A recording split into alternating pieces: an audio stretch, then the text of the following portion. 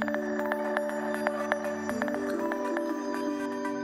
Good morning. The time is now 612 on this Wednesday morning, and we're looking at a healthy mix of sun and clouds to partly cloudy skies. Later on this afternoon, upper 70s to near 80 for a high, and we do get to the low 80s tomorrow. But the caveat to that is we're going to add a little bit of moisture concentration when you have that southerly flow tapping into some of that Gulf moisture.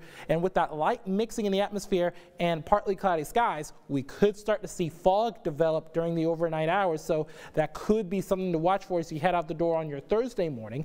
But then we should see that fog mix out and we're going to be mainly looking at partly cloudy skies for your Thursday. But then as we go through the day Friday, we should be warmer, but we are going to be a bit on the windier side, especially in the Brazos Valley. And we're going to be getting to the upper 80s to near 90 for you guys as you head throughout the course of the weekend. Now, you guys only have around a 20% chance of some of those scattered thunderstorms. But for us here in Central Texas, this could affect the boots and bandanas over at Chefs in Belton in later on Saturday evening. But we do do have a 30% chance of thunderstorms both Saturday as well as Sunday before that system moves out throughout the course of the day Monday. So this will need some fine tuning. It is still four days out. But we are looking mainly dry right now. Just a few areas of cloud cover, mainly west of I-35 over portions of McLennan and Bosque counties. But we're starting to see that southerly component of the wind start to really take shape in some of our eastern zones. But the cloud cover is mainly well off to our west over portions of the Texas Panhandle on through the Permian Basin on through places like El Paso.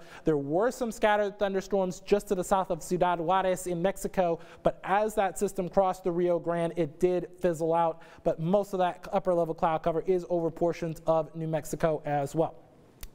Now let's take a look downtown. You're starting to see a little bit of twilight here that's showing some of that upper level cloud cover, but we're hovering around those upper 50s and those clouds are starting to build on in to start because we have a little bit of that mixing with some of that moisture concentration starting to filter on into our atmosphere and that's allowing for some of that cloud cover.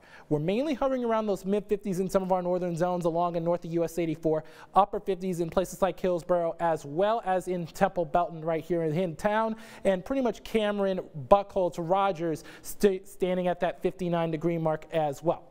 Highs are going to be in those upper 70s to near 80s. Places like Bryan College Station possibly could get to those lower 80s.